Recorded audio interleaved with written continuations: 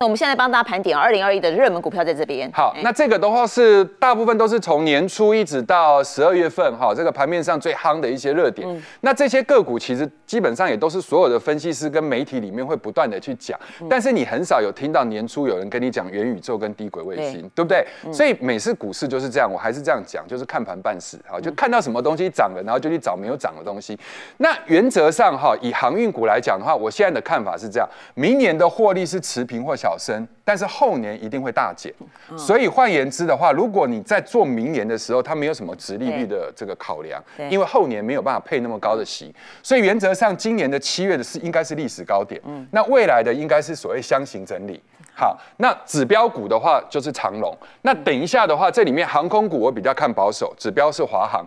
元宇宙的一个部所以分二零二二的话，就航运股我们就就只能做箱型。OK。对，因为它的获利还支撑 OK 但是它已经不会成长了。嗯嗯，好，那航空股是连成长都不会。而且股净比也高了，那再来元宇宙的部分，大部分都还不会赚钱，所以原则上你只能看红外线的感测这一类的一个股票，但是压回才能接。那这里面的指标的话，就是宏达电跟光磊。那这个指标不代表是看好的意思，而是说你要拿它来当类股的龙头。然后在低轨卫星里面 o r a n 的部分是有营收没获利，好，所以我们要看的是微波高频通讯元件，对。就是森达科。然后呢，也不是现在买，是压回买。那 Mini LED 的一个状况的话，整个族群我看保守，因为它设备的补货已经到了一个阶段那。明年好像哈，对，因为你苹果如果没有办法再去把全线的产品推 Mini LED 的话，那你剩下的韩国的厂在推所谓的电视的 Mini LED，那个够不起全世界的补货热潮。嗯，电动车这一块的话，电池铝镁应该继续看好了吧？对，但是电池铝镁合金跟第三代半导体其实会相对比较保守，这里面会有车用模组，比较看好的是车用模组、镜头模组、磁性元件跟红家军。所以明年的重点应该会放在洪家军身上。好，那再来特用化学品跟半导体的，我觉得会不错。那指标是三幅画。好，那生技新药的话，整个是三月再来做，因为这里面的股票差异性太大。好，所以比较不是属于那种大的生计行情。好，原则上就后面这三个是明年还有机会继续表现。嗯，对。那我今天把我的方法陈述给各位听哈，这个是以前的女股神问，对，已经变以前的女股神，以前的女股神今年大家才开始刚刚认识她，已经变。因为人家都在进行自我反省了、啊。他说他今年他的方舟基金的 ETF 在二月创高之后，一直到现在跌了大概四成，真的跌了四成，对，所以他要反省。那我要举这个例子是要告诉各位什么？它里面其实都是全世界最新兴的他做错了产业。他做错了什么？他买最新兴的，比如说网络科技、比特币、电动车里面低轨卫星什么最新的他都买，可是人家都跌成这样。那台湾这个部分其实都还没有意识到，嗯，就是整个国际性在领头的东西其实已经在跌，可是台湾是因为用资金的热潮去追这个比较泡沫的东西，所以这点要特别注意。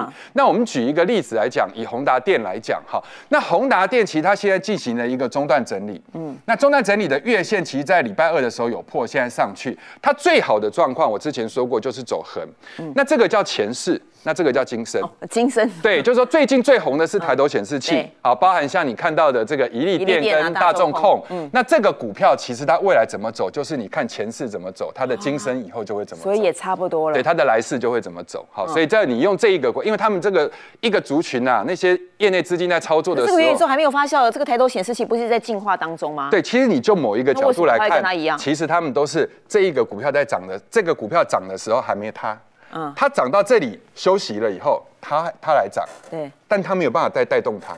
所以，我们一般来看一个比较健康的族群是强的，第一波攻击的股票还在继续攻，而不是一直在轮动。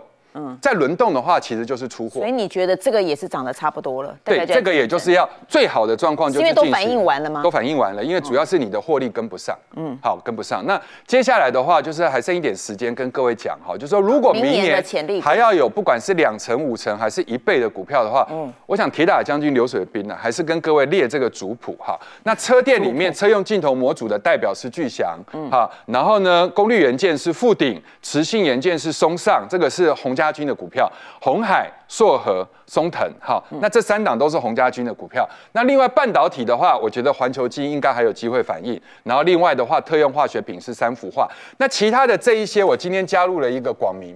嗯，就是机器人手背的部分，因为达明这一块的话状况不错，嗯，哦，所以它的母公司广明状况也会不错。然后呢，在教学上面来讲的话，今天要跟各位来讲另外一个形态，就是我们还是一样从刚刚的那一张表里面。再来去找主流股，嗯，好，就是换言之，你还是要有一个 pool。那从这个 pool 里面去找什么股票在发动？今天要跟各位来讲的就是 N 字形攻击波。那这种话就是通常会带一个甩轿。那什么意思呢？比如说三四五五的油田，它是做眼控的，它今年获利不错哟。那你看它的一个股价的形态是这样，这一波攻上去的最高量。是三千零四十六张，好，那攻完了以后盘头下来打很长很长的底，对，那这个中间你可能都暂时不用理它，嗯，直到它开始出量的时候，你再哦有量再来观察它，有量再观察它，好，那你要观察它健不健康，就是它攻上去了之后是不是突破了这个高点。所以把这个箱型给确立，那确立了之后，它一攻上去之后，通常都会有一个回马枪。嗯，那很多投资朋友会在这个点上面会弃手。为什么会弃手呢？他说我已经套牢了将近大半年。对，哎，Q 有没啊？Q 的钱啊？哦啊，不要再被套了，感觉我不要再被套了。对我不要好不容易住了那么久的套房，然后现在要再住另外一个比较高级的套房，没有。那这个地方呢，就开始就出了。那出了之后，只要量一开始缩。